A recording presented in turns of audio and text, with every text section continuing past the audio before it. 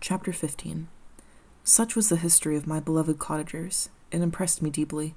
I learned, from the views of social life which it developed, to admire their virtues and deprecate the vices of mankind. As yet, I looked upon crime as a distant evil, benevolence and generosity were ever present before me, inciting within me a desire to become an actor in the busy scene where so many admirable qualities were called forth and displayed. But in giving an account of the progress of my intellect, I must not omit a circumstance which occurred in the beginning of the month of August of the same year. One night during my accustomed visit to the neighboring wood, where I collected my own food and brought home firing for my protectors, I found on the ground a leathern portmanteau containing several articles of dress and some books. I eagerly seized the prize and returned with it to my hovel. Fortunately, the books are written in the language, the elements of which I had acquired at the cottage. They consisted of Paradise Lost, a volume of Plutarch's Lives, and the Sorrows of Werter. The possession of these treasures gave me extreme delight. I now continually studied and exercised my mind upon these histories, whilst my friends were employed in their ordinary occupations. I can hardly describe to you the effect of these books. They produced in me an affinity of new images and feelings that sometimes raised me to ecstasy, but more frequently sunk me into the lowest dejection. In the Sorrows of Werter, besides the interest of its simple and affecting story, so many opinions are canvassed, and so many lights thrown upon what had hitherto been to me obscure subjects, that I found in it a never ending source of speculation and astonishment. The gentle and domestic manners it described, combined with lofty sentiments and feelings, which had for their object something out of self, accorded well with my experience among my protectors, and with the wants which were for ever alive in my own bosom. But I thought Werter himself a more divine being than I had ever beheld or imagined. His character contained no pretension, but it sank deep. The disquisitions upon death and suicide were calculated to fill me with wonder. I did not pretend to enter into the merits of the case, yet I inclined towards the opinions of the hero, whose extinction I wept, without precisely understanding it. As I read, however, I applied much personally to my own feelings and condition. I found myself similar, yet at the same time strangely unlike to the beings concerning whom I read and to whose conversation I was a listener. I sympathized with and partly understood them, but I was unformed in mind. I was dependent on none, and related to none. The path of my departure was free, and there was none to lament my annihilation. My person was hideous, and my stature gigantic. What did this mean? Who was I? What was I? Whence did I come? What was my destination? These questions continually recurred, but I was unable to solve them. The volume of Plutarch's Lives which I possessed contained the histories of the first founders of the ancient republics. This book had a far different effect upon me from the sorrows of Werter. I learned from Werter's imaginations despondency and gloom, but Plutarch taught me high thoughts. He elevated me above the wretched sphere of my own reflections, to admire and love the heroes of past ages. Many things I read surpassed my understanding and experience. I had a very confused knowledge of kingdoms, wide extents of country, mighty rivers, and boundless seas. But I was perfectly unacquainted with towns and large assemblages of men. The cottage of my protectors had been the only school in which I had studied human nature, but this book developed new and mightier scenes of action. I read of men concerned in public affairs, governing or massacring their species. I felt the greatest ardor for virtue rise within me, and abhorrence for vice, as far as I understood the signification of those terms, relative as they were, as I applied them, to pleasure and pain alone. Induced by these feelings, I was, of course, led to admire peaceable lawgivers, Numa, Solon, and Lycurgus, in preference to Romulus and Theseus.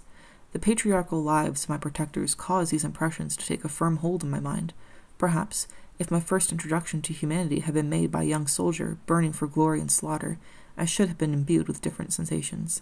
But Paradise Lost excited different and far deeper emotions. I read it, as I had read the other volumes which had fallen into my hands, as a true history, it moved every feeling of wonder and awe the picture of an omnipotent God warring with his creatures was capable of exciting. I often referred to several situations, as their similarity struck me to my own. Like Adam, I was apparently united by no link to any other being in existence, but his state was far different from mine in every other aspect. He had come forth in the hands of God a perfect creature, happy and prosperous, guarded by the especial care of his Creator, he was allowed to converse with and acquire knowledge from beings of a superior nature, but I was wretched, helpless, and alone. Many times I considered Satan as the fitter emblem of my condition, for often, like him, when I viewed the bliss of my protectors, the bitter gall of envy rose within me. Another circumstance strengthened and confirmed these feelings. Soon after my arrival in the hovel, I discovered some papers in the pocket of the dress which I had taken from your laboratory. At first I had neglected them, but now that I was able to decipher the characters in which they were written, I began to study them with diligence. It was your journal of the four months that preceded my creation. You minutely described in these papers every step you took in the progress of your work. This history was mingled with accounts of domestic occurrences. You doubtless recollect these papers. Here they are. Everything is related in them which bears reference to my accursed origin. The whole detail of that series of disgusting circumstances which produced it is set in view. The minuteness description of my odious and loathsome person is given, in language which painted your own horrors and rendered mine indelible. I sickened as I read. Hateful day when I received life, I exclaimed in agony. Accursed Creator, why did you form monsters so hideous that even you turn from me in disgust? God, in pity, made man beautiful and alluring, after his own image, but my form is a filthy type of yours, more horrid even from the very resemblance. Satan had his companions, fellow devils, to admire and encourage him, but I am solitary and abhorred. These were the reflections of my hours of despondency and solitude, but when I contemplated the virtues of the cottagers, their amiable and benevolent dispositions, I persuaded myself that when they should become acquainted with my admiration of their virtues, they would compassionate me and overlook my personal conformity. These were the reflections of my hours of despondency and solitude. But when I contemplated the virtues of the cottagers, their amiable and benevolent dispositions, I persuaded myself that when they should become acquainted with my admiration of their virtues, they would compassionate me and overlook my personal deformity. Could they turn from their door one, however monstrous, who solicited their compassion and friendship? I resolved, at least, not to despair, but in every way to fit myself for an interview with them which would decide my fate. I postponed this attempt for some months longer, for the importance attached to its success inspired me with a dread lest I should fail. Besides, I found that my understanding improved so much with every day's experience that I was willing to commence this undertaking until a few more months should have added to my sagacity. Several changes, in the meantime, took place in the cottage. The presence of Safie diffused happiness among its inhabitants, and I also found that a greater degree of plenty reigned there. Felix and Agatha spent more time in amusement and conversation, and were assisted in their labors by servants. They did not appear rich, but they were contented and happy.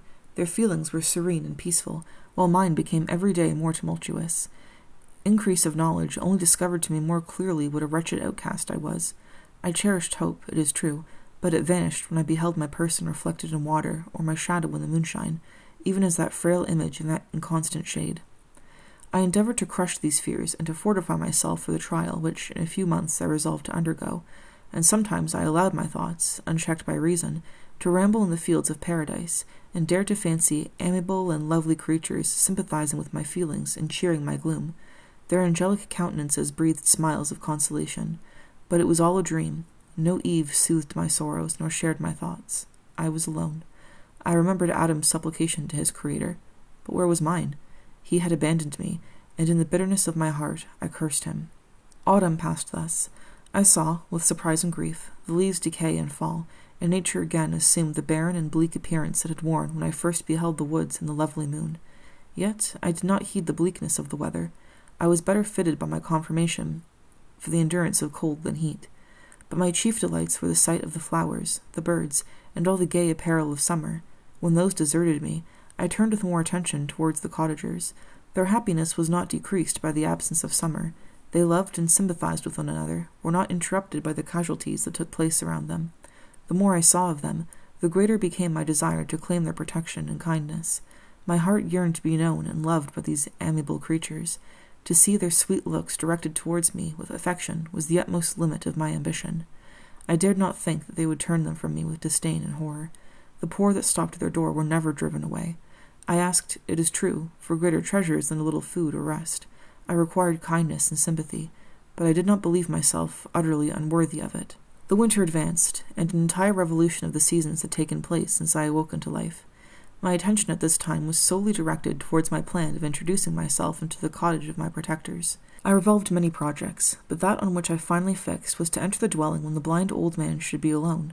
I had sagacity enough to discover that the unnatural hideousness of my person was the chief object of horror with those who had formerly beheld me. My voice, although harsh, had nothing terrible in it. I thought, therefore, that if in the absence of his children I could gain the good will and mediation of the old De Lacey, I might by his means be tolerated by my younger protectors. One day, when the sun shone on the red leaves that strewed the ground and diffused cheerfulness, although it denied warmth, Safie, Agatha, and Felix departed on a long country walk, and the old man, at his own desire, was left alone in the cottage. When his children had departed, He took up his guitar and played several mournful but sweet airs, more sweet and mournful than I had ever heard him play before. At first his countenance was illuminated with pleasure, but as he continued, thoughtfulness and sadness succeeded. At length, laying aside the instrument, he sat absorbed in reflection. My heart beat quick. This was the hour and moment of trial, which would decide my hopes or realize my fears. The servants were gone to a neighboring fair. All was silent in and around the cottage. It was an excellent opportunity. Yet, when I proceeded to execute my plan, my limbs failed me, and I sank to the ground. Again I rose, and exerting all the firmness of which I was master, removed the planks which I had placed before my hovel to conceal my retreat. The fresh air revived me, and with renewed determination I approached the door of their cottage. I knocked. Who is there? said the old man. Come in. I entered. Pardon this intrusion, said I. I am a traveller in want of a little rest. You would greatly oblige me if you would allow me to remain a few minutes before the fire. Enter, said De and I will try in what manner I can to relieve your wants. But, unfortunately, my children are from home, and as I am blind, I am afraid I shall find it difficult to procure food for you. Do not trouble yourself, my kind host. I have food. It is warmth and rest only that I need. I sat down, and a silence ensued. I knew that every minute was precious to me, yet I remained irresolute in what manner to commence the interview, when the old man addressed me. By your language, stranger, I suppose you are my countryman. Are you French? No but I was educated by a French family and understand that language only. I am now going to claim the protection of some friends, whom I sincerely love, and of whose favor I have some hopes. Are they Germans? No, they are French. But let us change the subject. I am an unfortunate and deserted creature. I look around, and I have no relation or friend upon earth. These amiable people to whom I go have never seen me and know little of me. I am full of fears, for if I fail there, I am an outcast in the world forever. Do not despair. To be friendless is indeed to be unfortunate, but the hearts of men, when unprejudiced by any obvious self interest, are full of brotherly love and charity. Rely, therefore, on your hopes, and if these friends are good and amiable, do not despair. They are kind. They are the most excellent creatures in the world, but, unfortunately, they are prejudiced against me. I have good dispositions. My life has been hitherto harmless and in some degree beneficial, but a fatal prejudice clouds their eyes, where they ought to see a feeling and kind friend, they behold only a detestable monster. That is indeed unfortunate, but if you are really blameless, cannot you undeceive them? I am about to undertake that task, and it is on that account that I feel so many overwhelming terrors. I tenderly love these friends. I have, unknown to them, been for many months in the habits of daily kindness towards them, but they believe that I wish to injure them, and it is that prejudice which I wish to overcome. Where do these friends reside? Near the spot. The old man paused and then continued. If you will unreservedly confide to me the particulars of your tale, I perhaps may be of use in undeceiving them. I am blind and cannot judge your countenance, but there is something in your words which persuades me that you are sincere. I am poor and an exile, but it will afford me true pleasure to be in any way serviceable to a human creature. Excellent man, I thank you and accept your generous offer. You raise me from the dust by this kindness, and I trust that, by your aid, I shall not be driven from the society and sympathy of your fellow creatures. Heaven forbid, even if you were really criminal, for that can only drive you to desperation and not instigate you to virtue. I also am unfortunate. I and my family have been condemned, although innocent. Judge, therefore, if I do not feel for your misfortunes. How can I thank you, my best and only benefactor? From your lips first have I heard the voice of kindness directed towards me. I shall be forever grateful, and your present humanity assures me of a success with those friends whom I am on the point of meeting. May I know the names and residence of those friends? I paused. This, I thought, was the moment of decision, which was to rob me of or bestow happiness on me forever. I struggled vainly for firmness sufficient to answer him, but the effort destroyed all my remaining strength. I sank on the chair and sobbed aloud. At that moment I heard the steps of my younger protectors. I had not a moment to lose, but seizing the hand of the old man, I cried, Now is the time. Save and protect me. You and your family are the friends whom I seek. Do not you desert me in the hour of trial. Great God! exclaimed the old man. Who are you? At that instant the cottage door was opened, and Felix, Safie, and Agatha entered. Who can describe their horror and consternation on beholding me? Agatha fainted, and Safie, unable to attend to her friend, rushed out of the cottage. Felix darted forward, and with supernatural force tore me from his father, to whose knees I clung, in a transport of fury. He dashed me to the ground and struck me violently with a stick. I could have torn him limb from limb, as a lion rends the antelope, but my heart sank within me as with bitter sickness, and I refrained. I saw him on the point of repeating his blow, when, overcome by pain and anguish, I quitted the cottage, and in the general tumult escaped unperceived to my hovel.